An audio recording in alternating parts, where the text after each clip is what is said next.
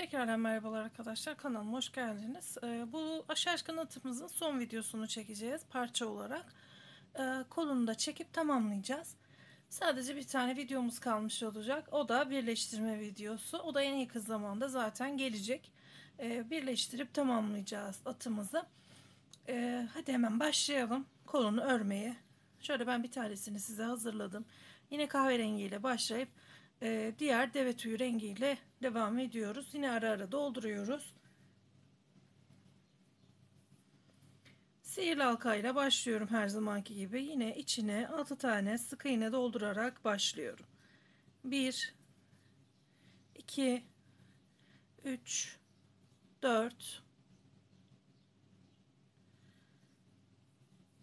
5 ve 6 tane dolduruyorum ve halkamı çekip kapatıyorum. İkinci sırada her sık iğneye çift batarak toplamda 12 sık iğneye ulaşıyorum. 2 3 4 5 6 7 8 9 10 11 ve 12. Üçüncü sırada bir tek bir çift yaparak 18 sık iğneye ulaşacağım. Sıra sonuna kadar bir tane tek öreceğim. Bir tane çift öreceğim. Bir tane tek örüyorum. Bir tane çift örüyorum. Devam edelim. Bir tek bir çifte 18 sık iğneye ulaşalım.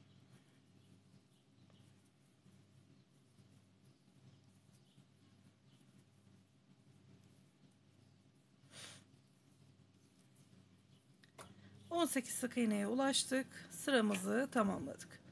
Dördüncü sırada 24 sık iğneye çıkacağız. Bunun için de iki tane tek bir tane çift öreceğiz.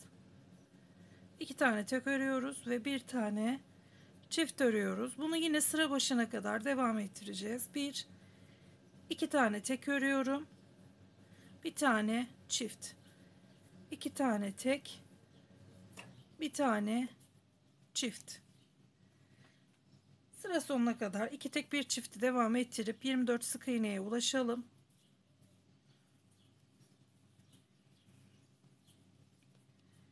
Bu arada kağıdınızı kaleminizi hazırlayın. Ee, bir yerden sonra yine not almanızı rica edeceğim. Ee, çünkü uzun bir kol anlatımı var. Sizi de çok fazla sıkmak istemiyorum. O yüzden bir yerden sonra anlatımıma yazarak devam etmenizi de isteyeceğim. O yüzden kağıdınızı kaleminizi hazırlayın. O da kenarda dursun. Şimdi 24 sık iğneyi yaptık. 3 sıra boyunca 24 sık iğne öreceğim.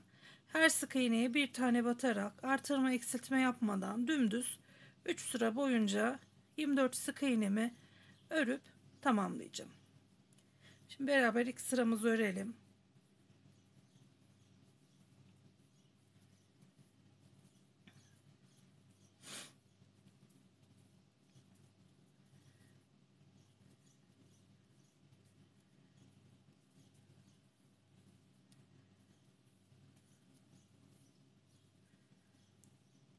İlk sıramızı tamamladık.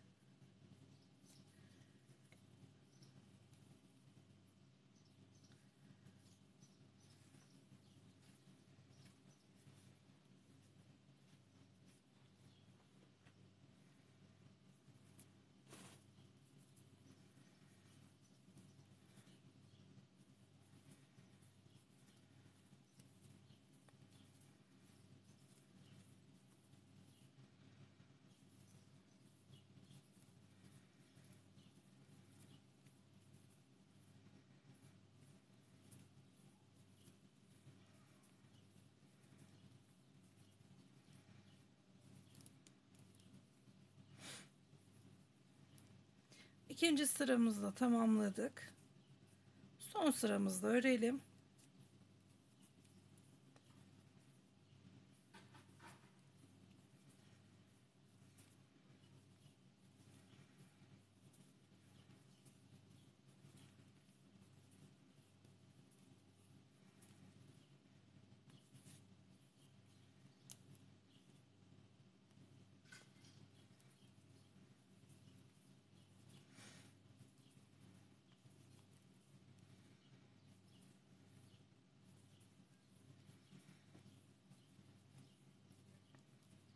Son sıramızı da tamamladık. Geldik diğer sıramıza. Bu sırada tekrar 18 sık iğneye düşmek istiyorum. Bunun için de artış yaptığımın tersi yapacağım. Yani e, iki tane örüp bir tane arttırmıştım. Bu sefer de 18'e düşmek için iki tane örüp bir tane keseceğim. Bir, iki tane sık iğne ördüm. Bir tane kesme işlemi yapıyorum. Tekrar bir, iki tane tek sık iğne ördüm. Bir tane kesme işlemi yapıyorum. Sıra başına kadar iki ör, bir kes yapacağım.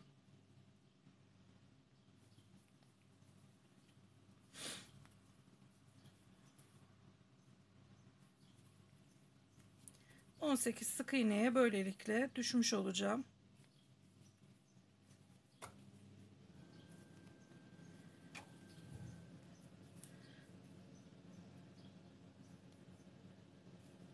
Son kesim işlemimizi de yapalım ve artık renk değişikliğini tamamlayalım.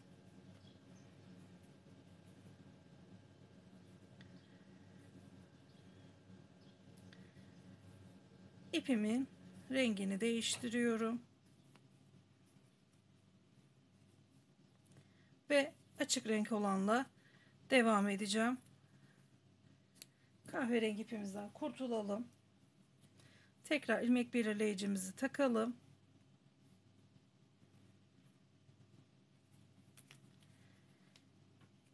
Buradan arkadan da düğümünü atalım.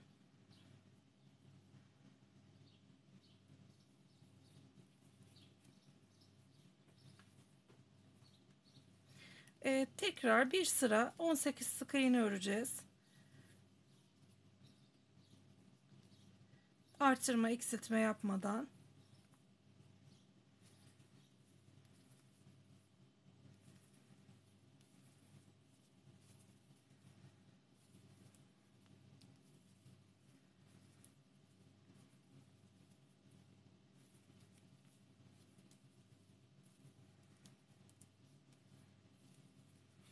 Şimdi sıramızı tamamladık. Yeni sıramızda sık iğne sayımızı 16'ya düşürmek istiyorum. Ee, bunun için de iki tane eksiltme yapacağım. 1 2 3 4 5 6 ve 7 sık iğne örüyorum. Bir tane kesme yapıyorum. Tekrar aynısını yapalım. 1 2 3 4 5 6 ve 7 tane örüyoruz. Bir tane kesme işlemi yapıyoruz. 16 sık iğneye düştükten sonra 10 sıra boyunca 16 sık iğne örmeniz gerekecek. Herhangi bir artırma eksiltme yapmadan 10 sıra boyunca düz öreceksiniz.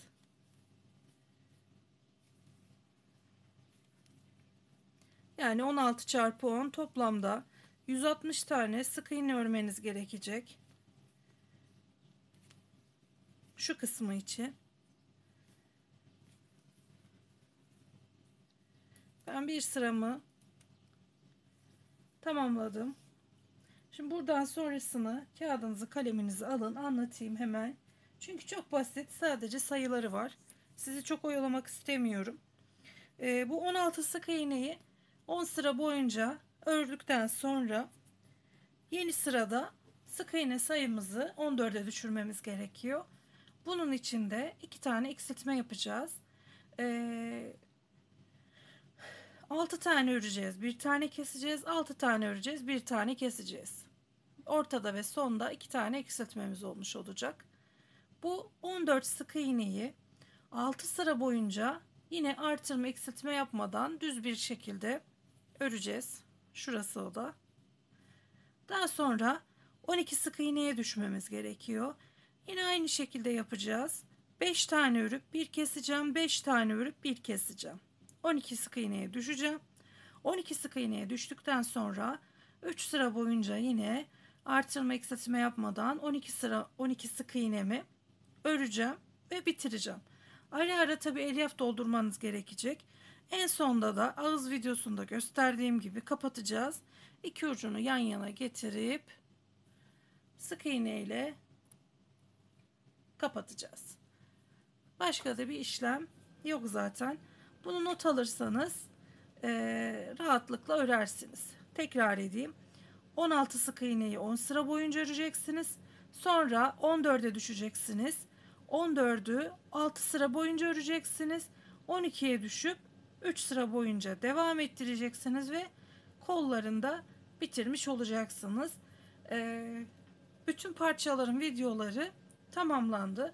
Siz şimdiye kadar olan kısmı tamamlayın. Bir sonraki videoda da birleştirelim ve şaşkın atımızı tamamlamış olalım. Şimdilik buraya kadar kolay gelsin size de. Diğer videoda görüşmek üzere.